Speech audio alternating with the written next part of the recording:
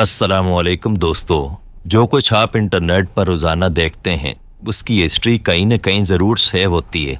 और कहीं ऐसा ना हो कि गलती से आपका फ़ोन किसी के हाथ लग जाए तो आपकी सारी प्राइवेसी लीक हो जाएगी। तो दोस्तों, इस वीडियो में हम सिर्फ़ इतना सीखेंगे कि जो आप फेसबुक पर रोज़ाना वीडियोस देखते हैं, उनकी हिस्ट्री कहाँ पर महफूज होती है और इसको डिलीट करने का आसान तरीका कौन सा है।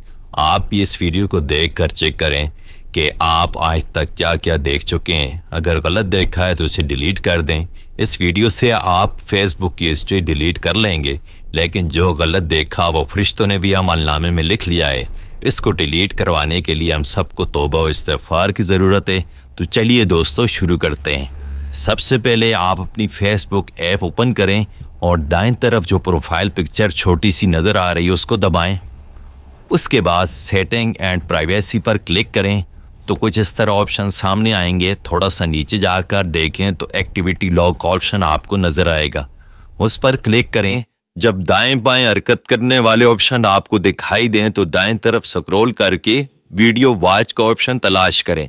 फिर इस पर क्लिक करें तो वो तमाम वीडियो शो हो जाएँगी जो हमने देखी हैं और वीडियो के ऊपर आपको हिस्ट्री क्लियर करने का ऑप्शन मिल जाएगा।